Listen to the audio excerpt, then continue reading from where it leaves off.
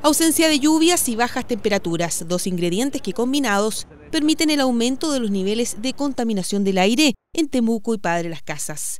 ¿Y qué dice el pronóstico? Durante toda la semana el frío se quedará, marcando temperaturas por debajo de los 0 grados. Por ello, las autoridades llamaron a utilizar otro medio de calefacción durante los complejos días que vienen.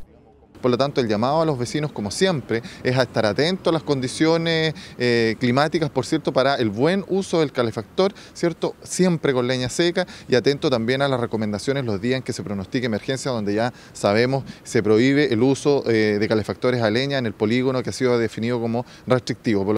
En los últimos días hemos visto un discreto aumento en las consultas respiratorias, o sea, ya están aumentando.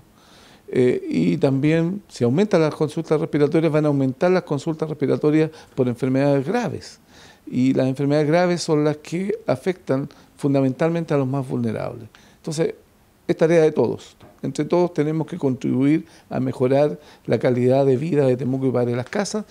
Pero no todos son malas noticias, porque en lo que va de este 2017 se han registrado 10 episodios críticos de contaminación, entre ellos una sola emergencia número positivo si se le compara con los 30 episodios críticos que a la misma fecha se registraron en 2016.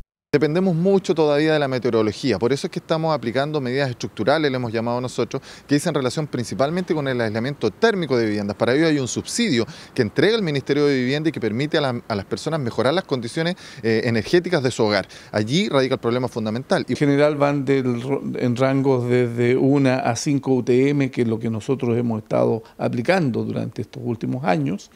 Eh, salvo que haya situaciones extraordinarias, como el caso que hemos tenido de agresiones, y en las cuales evidentemente aquí eh, eso es una agravante y que obliga eh, a la autoridad a ser más estricto en la sanción. Los equipos de la Ceremi hasta ahora han fiscalizado 160 hogares, cursando 123 sumarios sanitarios. En general y según la autoridad de salud, la comunidad comienza a cooperar. Sin embargo, aún hay quienes se resisten. En la temporada y en dos oportunidades, equipos de fiscalizadores ya han sido amenazados verbalmente. Estos hechos, al igual que el incumplimiento de la normativa, tienen sanciones. Primero, cuidarnos y, no hacer actividad física eh, cierto, eh, significativa y quedarse en casa si es que el aire está en una preemergencia o emergencia y no cambiar algún tipo alternativo de calefacción. Debido a las condiciones climáticas, la posibilidad de que los próximos días se registren emergencias y preemergencias aumenta. Por ello, el llamado es a utilizar leña seca, a sustituir el medio de calefacción y a cumplir con las restricciones a fin de asegurar una buena calidad del aire.